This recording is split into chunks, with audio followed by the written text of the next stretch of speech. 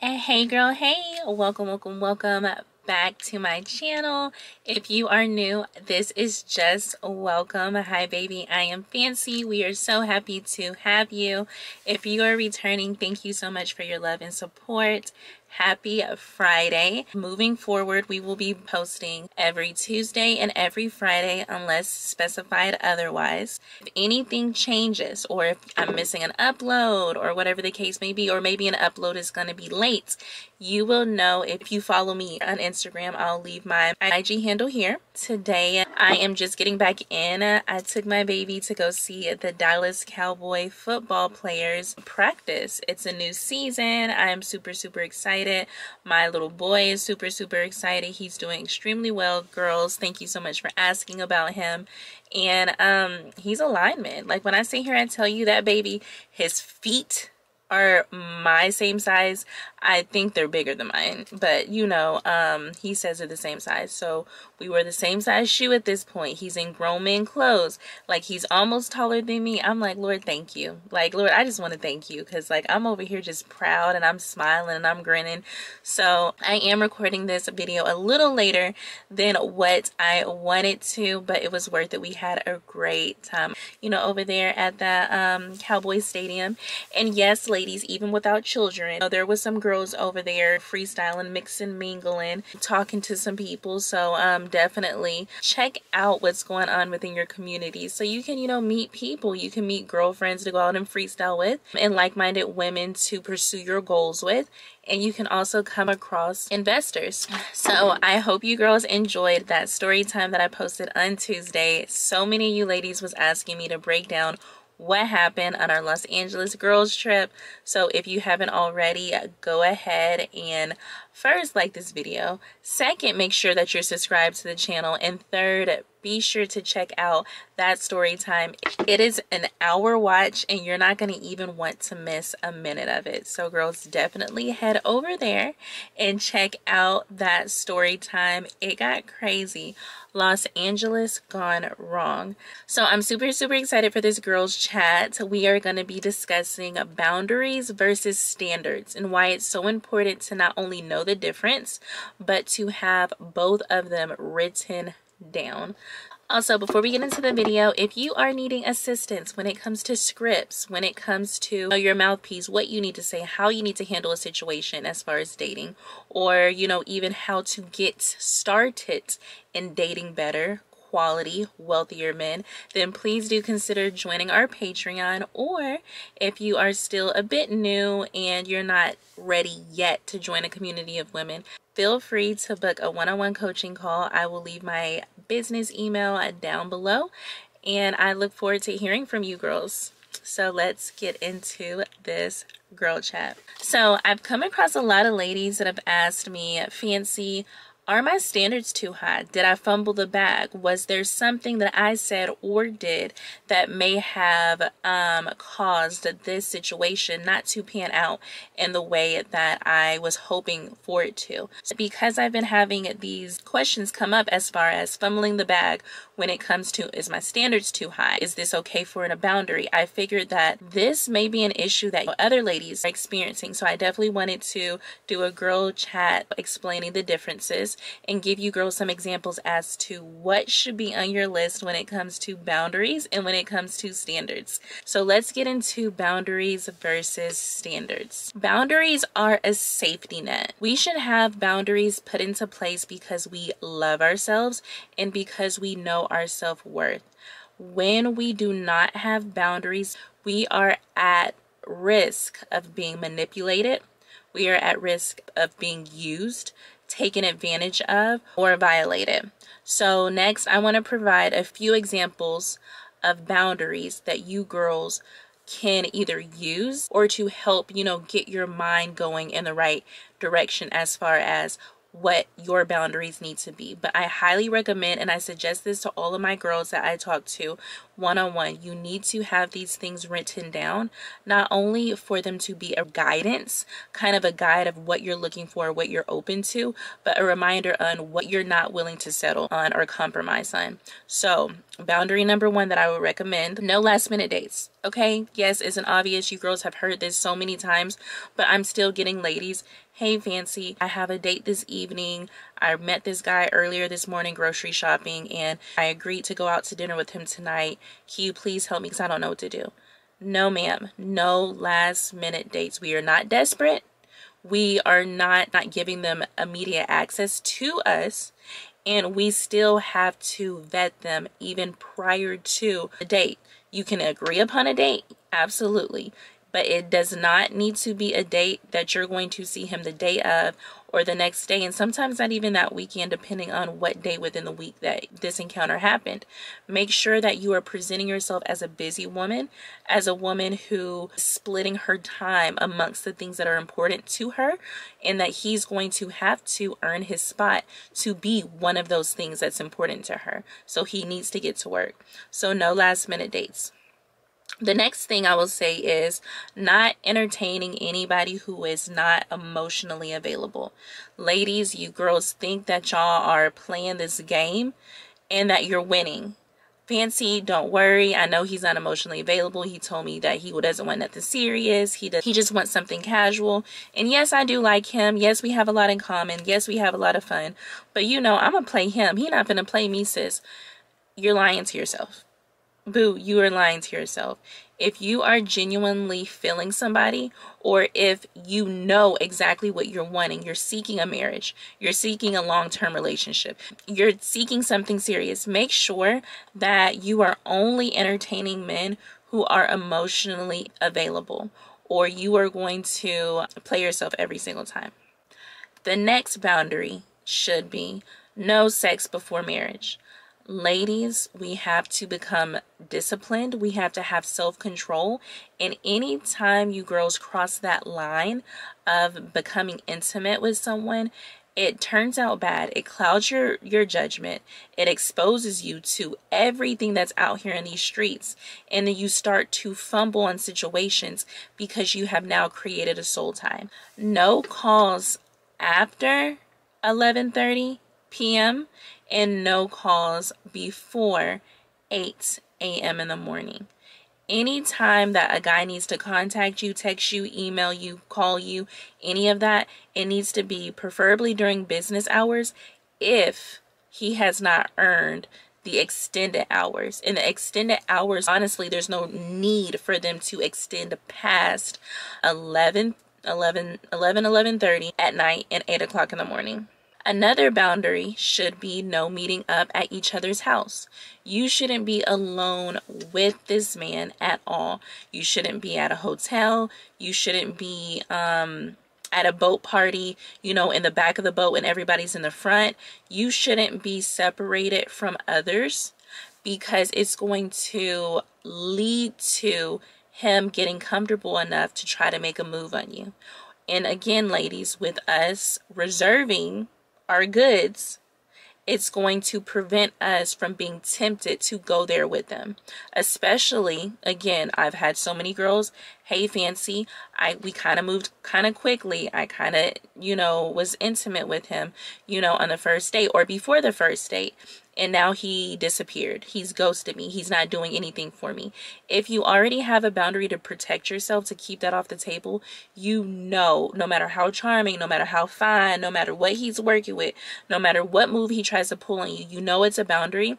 And you know when you sense it going that way or a possibility that it might start to go that way, you can immediately stop it and you can remove yourself from that situation. Remove yourself from the hot seat, sis. Remove yourself from the hot seat the next one or consider putting on your list. Again, I'm not trying to tell you what should be on your list or not. I want to break down the differences between boundaries and standards and give examples. Another example of a boundary that you should consider um, being on your list is no verbal or physical disrespect. And that includes inappropriate talk, rude remarks, disrespectful actions, anything that can be considered abusive or hostile or disrespectful. In no way is it excusable and it should never happen. Yes, it is okay when it comes to, you know, the inappropriate talk to give a warning.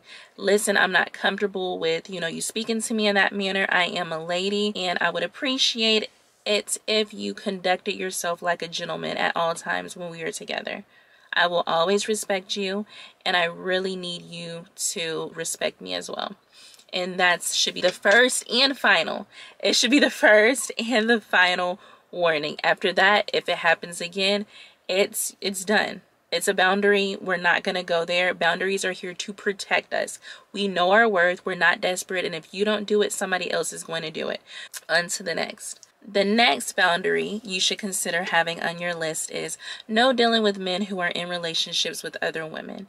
Yes, it is a new season. We are doing better because we know better. We are not one of those girls who has to be a runner up, second place, aside, or putting our lives at risk dealing with, you know, a love triangle, which we know, again, some of us know who watch those, um, you know, I did it for my man and, you know, fatal attraction and all of these different things. Love triangles can bring in unnecessary drama and it can have you know fatal ends. So definitely consider it to be added your a boundary. No longer dealing with men who are in relationships our next one should be no entertaining men who need a mother figure we're not here to teach you anything. We're not here to help you do anything. We're not here to coddle you. We're not here to hold your hand. We're not here to babysit you. We're not here to put you on.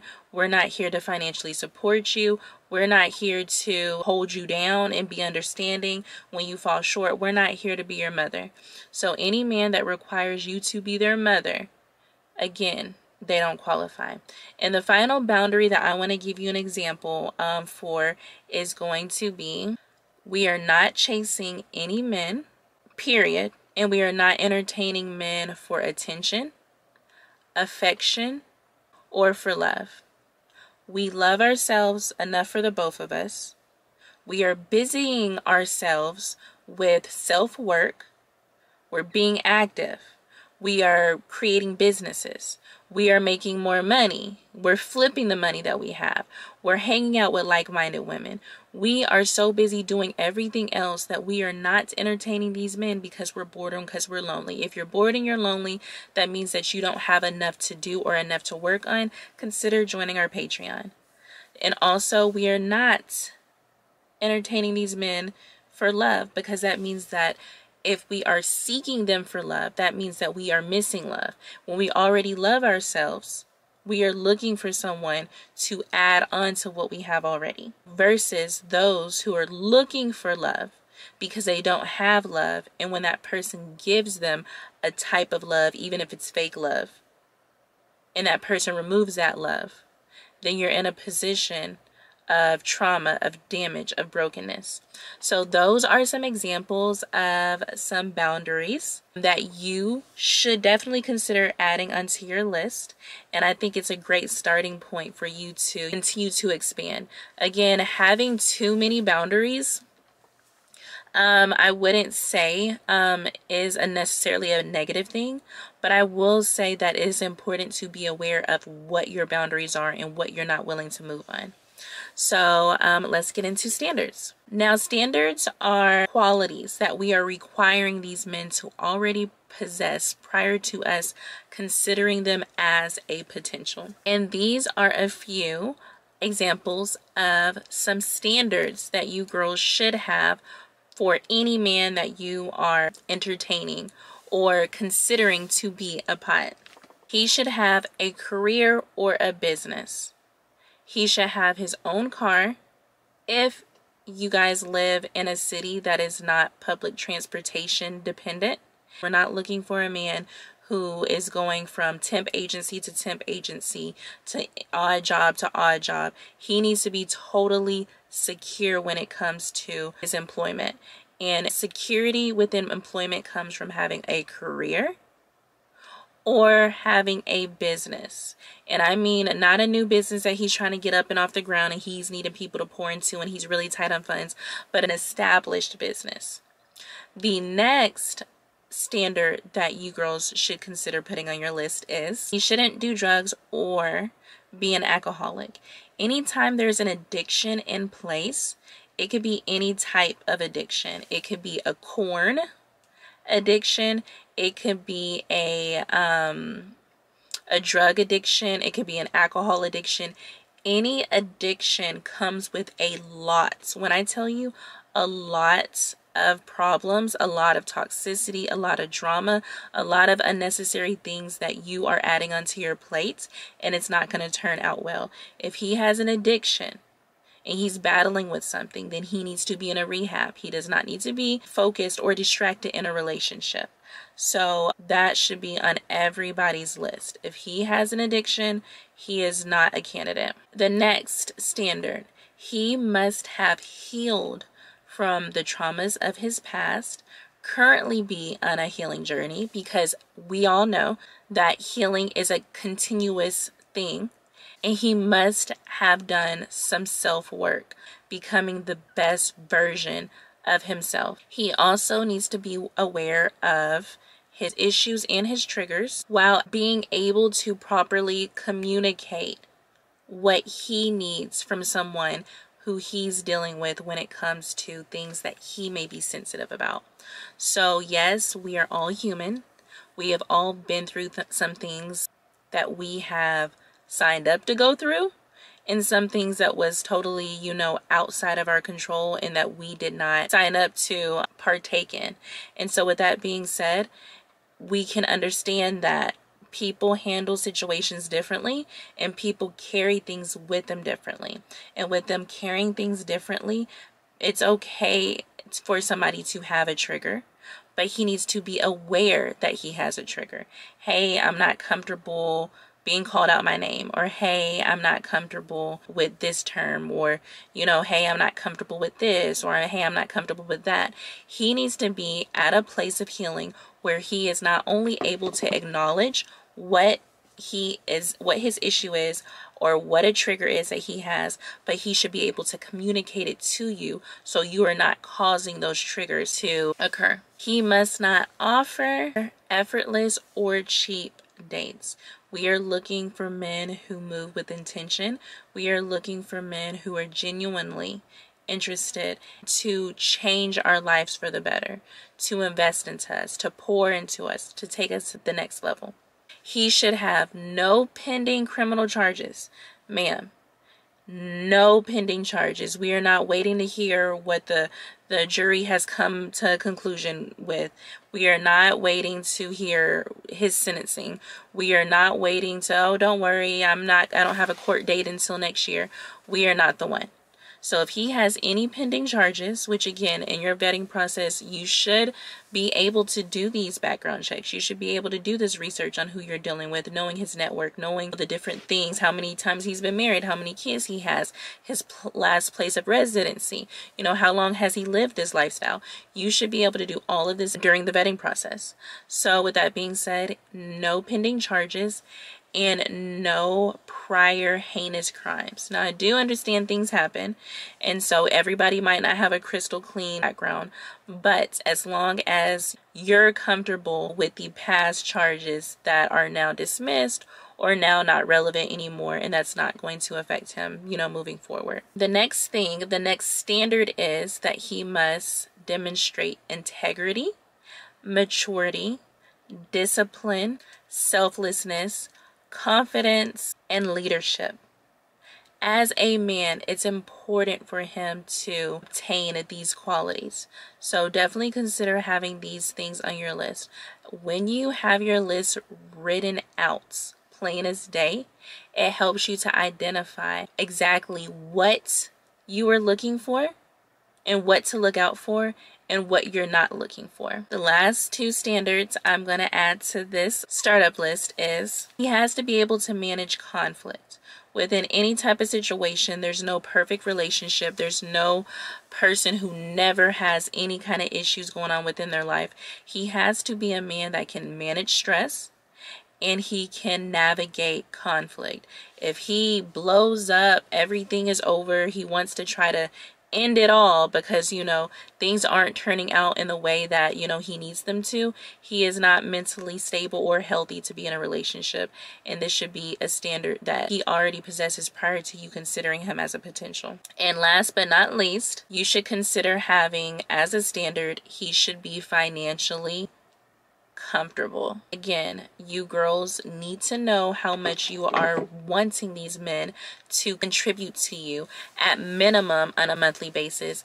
And then with that, it's going to tell you how much he needs to make to be able to sustain his lifestyle, his businesses, his wants, his needs, his desires, and still have extra money to pour into you still while having savings. So um, that's going to help you have a better idea as far as does he qualify or does he not. So girls, these were the differences between standards and boundaries. Boundaries are to protect you.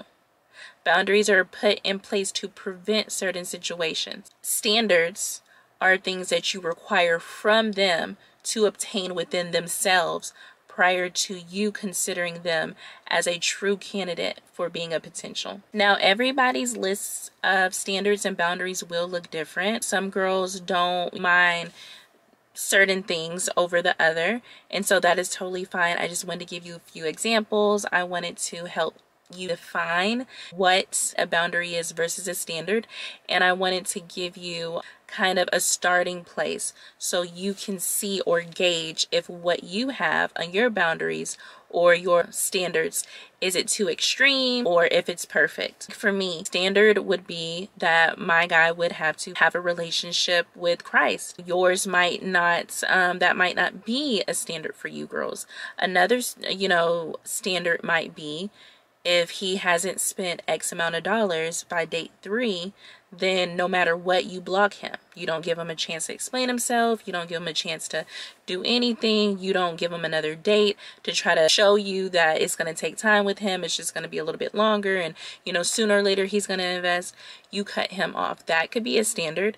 And, you know, um, even age can be a standard. But girls, y'all don't be yeah, the as many 20 year olds y'all be talking about and dealing with you know that's your business i'm not here to judge you. I just want you to be realistic. If you're expecting somebody to really step up financially and take care of you in, in a certain way and he's still young just try to gauge is it realistic somebody his age could he really provide that for you you know in the play and all your kids? Or if you don't have kids provide you know your high maintenance lifestyle while he's still you know, paying off college debt and he's still trying to get his feet on the ground and he's still trying to get his business off the ground and he's still trying to do this and that. So definitely make sure that your standards are realistic. So no matter how your list may look be sure to have it written down.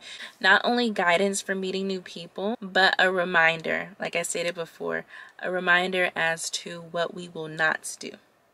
No matter how fine, no matter how good you smell, no matter who you know, no matter who your daddy is.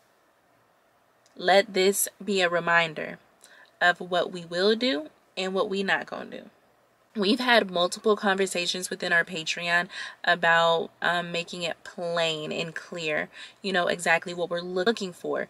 What exactly do we want a hypergamous relationship a hypergamous lifestyle look like for us?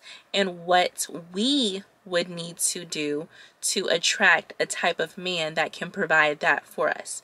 Like today in our live, one of the girls um, did research and she broke down there X amount of billionaires in the um, city of Houston, X amount of billionaires in Dallas, X amount of billionaires in um, Austin, X amount of billionaires in San Francisco. She did New York City. She did the UK. She did um, she did a breakdown of every girl who was in the live chat, you know, so they can have an idea. These are the amounts of billionaires within your proximity. Just to give us kind of an insight, some women lifestyle that they want is not going to require that person to be a billionaire. And then some women, the lifestyle that they want, they may require them to have somebody who's actually billionaire. But then when it comes with billionaires, it comes with a lot of extra stuff that you got to deal with. But again, um, that's for another video another time but know exactly what you're looking for and what you're not willing to compromise on. So it's going to position you to be able to take the steps necessary to attract those types of men. So, um, yeah, ladies, I hope this list helped you. I hope this breakdown of standards versus boundaries, you know, gave you a different insight for you to create a list that is tailored to fit your needs. I love you girls so much and be sure to like this video so we can share this message with other women. I love you girls so much and you guys have a great weekend and I will see you in our Tuesday upload and if you're in the Patreon I'll see you girls on Sunday in our live group chat. Love you ladies so much and y'all have a good one. Take care.